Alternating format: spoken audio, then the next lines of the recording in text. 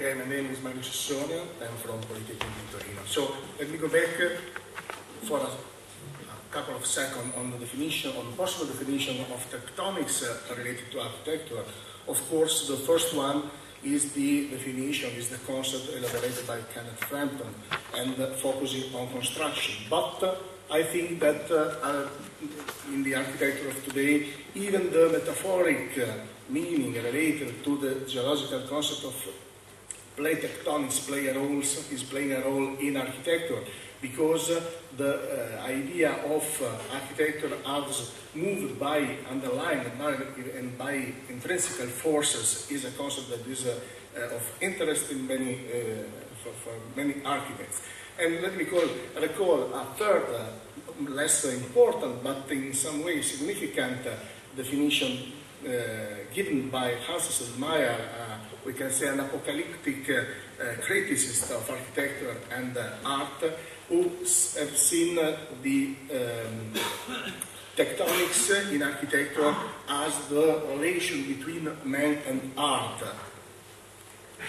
I think that uh, for starting from shell structure and mainly the contemporary and modern, I think, in the 20th century, we can uh, focus the problem of the relation between construction, conception, and uh, analysis and uh, computation of uh, a structure and of a building. The first example is uh, an important, even if it is well-known example, and it is the first dome, the first Zeiss dome realized in Jena in 1922. Uh, this realization is very important because the shape was uh, perfectly defined already in the beginning. The shape is a sphere. But uh, the construction was influenced a lot by the fact that the realization is over a roof and the load should be the minimum as possible.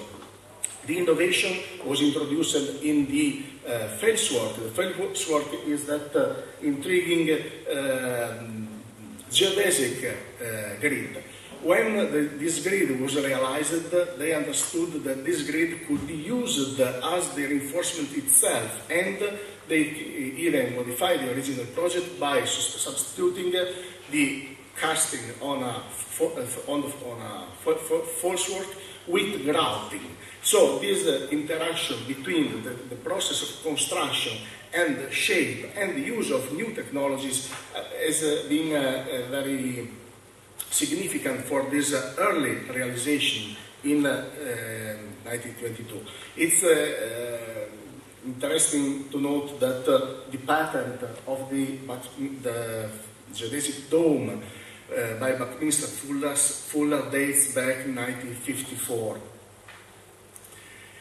The example of domes, of uh, reinforced concrete domes, uh, from the point of view of construction, takes uh, maybe its most important uh, development in the work of the Italian architect Dante Bini. Dante Bini developed and uh, realized a lot of uh, examples of this kind of buildings. He developed a, way to construct domes, reinforced concrete domes, by means of an inflating pneumatic false work he not only developed this had this conceptual idea, but he developed a patent studying all the details, included the way the phases of erection should be um, articulated, the way the uh, reinforcement must be designed and built in order to satisfy the requirements, and all the steps of the procedures. I can say, maybe we can say that, that this, uh, uh, from the point of view of the construction, this uh, uh example represents uh, one of the most refined and complete uh, description of how a dome Uh, should be built. Of course, in this case, we stay in the, in the field of spherical dome. This pattern will, will be, uh, was uh, extended even to more free form, but the most important realization are spherical. Spherical domes today, today spherical domes are mainly realized as grid shell and grid shells and not as real shells. The only example we can find in the, the picture is not the best, I'm sorry, but uh, uh, are uh, concrete domes used in industry. In this case, again, they use um, um, inflating uh, falsework, but the grouting is made by inside in order to have a perfectly smooth surface. Another important example that I want to explain and that has been studied recently in a paper uh, by Siegel, Garlock, and Billington is, uh, is a comparison between two buildings. The first one is uh, realized in 56 and is the Lambert uh, Airport Terminal in St. Louis designed by Minoru Yamasaki and structurally developed by Anton Tedesko. Uh, when this building was finished, Felix Candela um, decided to start from this building, taking it as a, as a challenge to realize his project for the uh, Bacardi rum factory in Mexico. Uh, the picture below represents the factory after the enlargement. Originally, there were only three cloister walls, uh, groined vaults, sorry. Uh, the aim is very important from my point of view because while the first process is, uh, uh, is uh, starts from the traditional approach to the design of concrete walls with um, edge beam stiffeners on the corners and on the groins.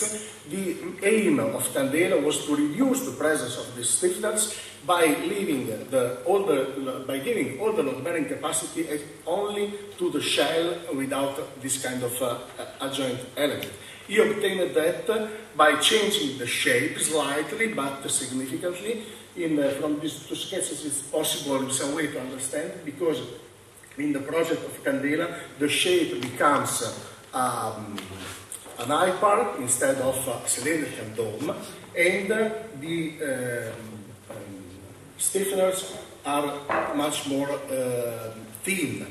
The behavior has been compared in the in, in, this paper, the structural value, and the structural value is similar, so that uh, it means that this second solution, all oriented to obtain the structural behavior by means of the working on the shape was a good uh, idea, and the challenge, we can say, it has been won.